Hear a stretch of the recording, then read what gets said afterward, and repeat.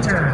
At the end of the min radius turn, watch Shirani sets a max performance pull into the vertical, followed by a negative 2G pushover to level 4. Ladies and gentlemen, roll out the Super